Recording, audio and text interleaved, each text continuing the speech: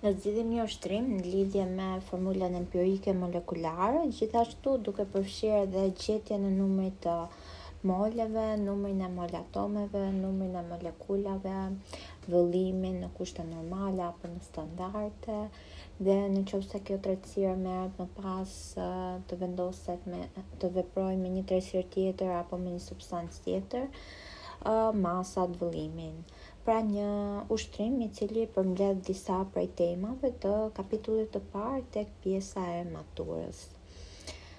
Shikojmë ushtrimin. Një përbërje organike me masë 58 gram ka në përbërje 82,75% karbon.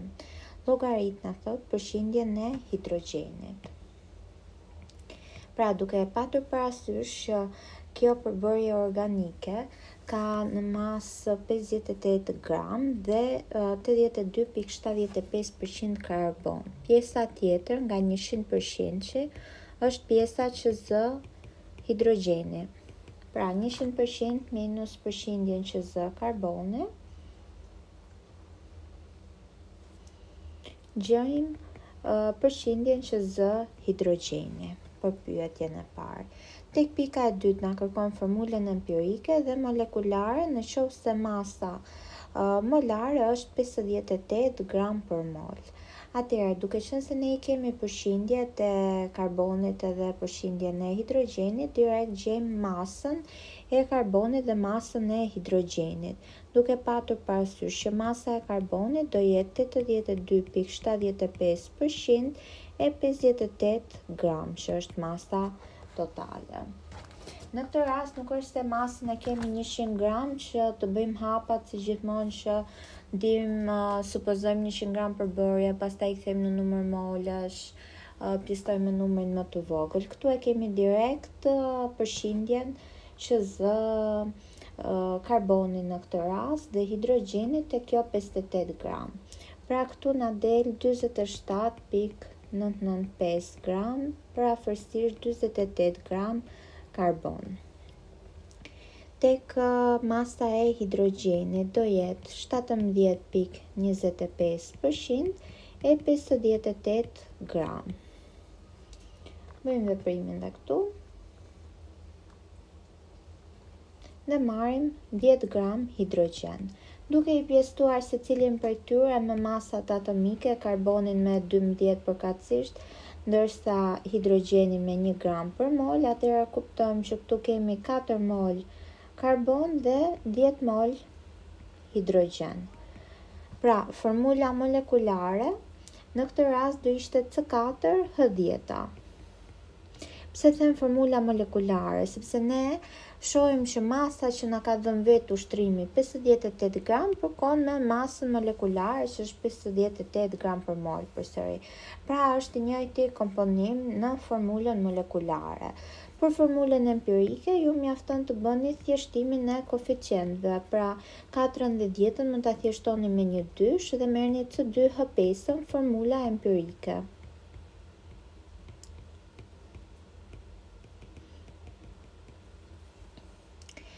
Dhe zgjidhëm pikën B.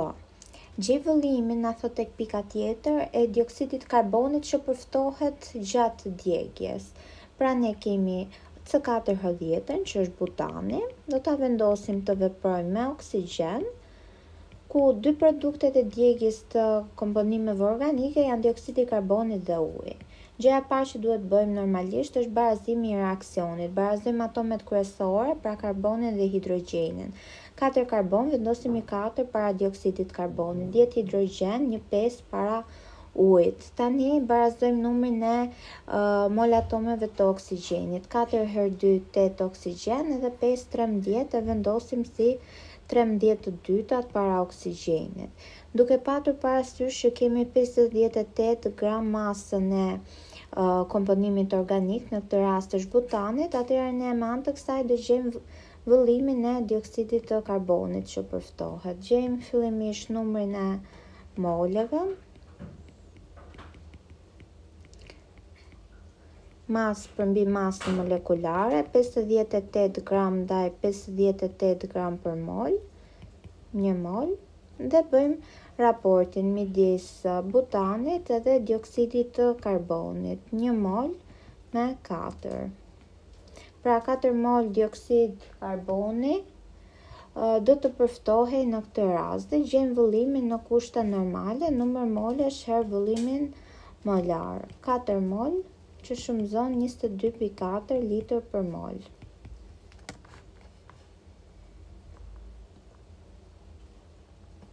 89.6 litra dioksid karboni përftohet në rastin e djegjes së kësaj mase të butanit.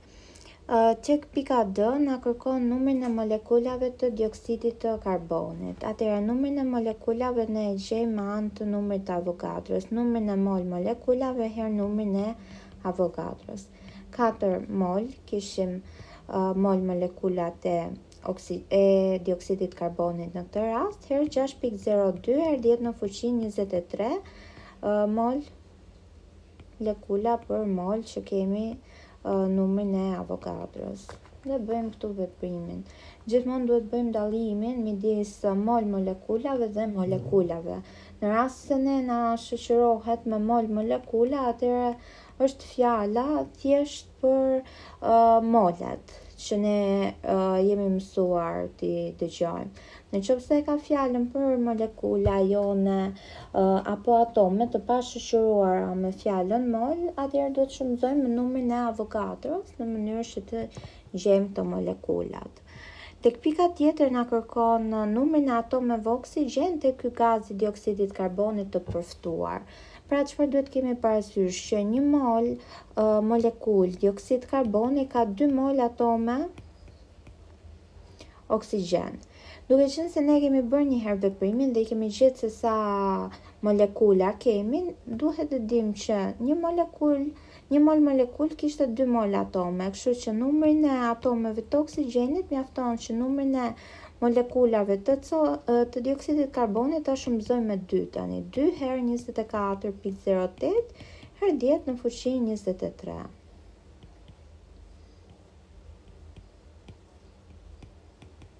Dhe gjejmë atomet e oksigjenit.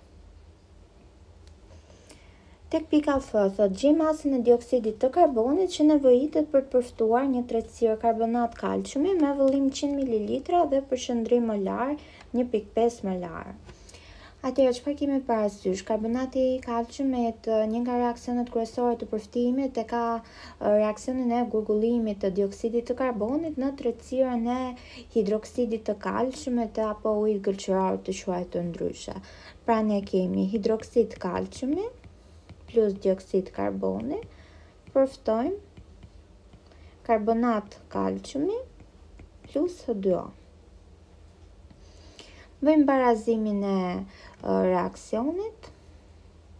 Shikojmë që reaksioni është i barazuar, koeficientët një një, i kontrollojmë një kalcium një kalcium, dy oksigjen dhe dy te dioksidi 4, atëherë tre te karbonati dhe një te uji 4, është në rregull dy hidrogjen, dy hidrogjen. Pra reaksionin tashmë mund ta quajmë të barazuar. Ne ky, kjo pikë na kërkon masën e dioksidit të karbonit, që na nevojitet për të përftuar një tretësirë e cila ka përqëndrim një pikë pesë molar dhe vëllimin njëqind mililitra. Duke qenë se ne kemi këto të dhëna, ne mund të gjejmë direkt numrin e moleve të kësaj tretësirës karbonatit të kalciumit, përqëndrim molar herë vëllim, një pikë pesë molar herë zero pikë një litra, pra zero pikë pesëmbëdhjetë mol karbonat kalciumi. Për të gjetur tani masën e dioksidit karbonit mjafton që ne të bëjmë raportin. Nga reaksioni e shohim që kemi një mol dioksid karboni me një mol karbonat kalciumi. Pra ndryshe x këtu me 0.15 mol, duke qenë se raporti është 1-1, atëherë numri i moleve të dioksidit të karbonit është 0.15 mol. Pastaj e kthejmë në masë, duke ditur që masa në gramë është numër molesh herë masa molekulare. Numrin e moleve kemi zero pikë pesëmbëdhjetë mol që shumëzon. Kemi për të gjetur masën molekulare të dioksidit të karbonit. Masa atomike e karbonit plus dy herë masën atomike të oksigjenit. Dymbëdhjetë plus dy herë gjashtëmbëdhjetë, dyzet e katër gramë për mol. Dhe këtë më pas e zëvendësojmë tek formula, dyzet e katër gramë për mol. bëjmë veprimin dhe gjejmë pjesën e masës së dioksidit të karbonit. 6.6 gram do jetë masa e dioksidit të karbonit e nevojshme për të përftuar këtë tretësirën e karbonatit të kalciumit me këto parametrat e dhënë.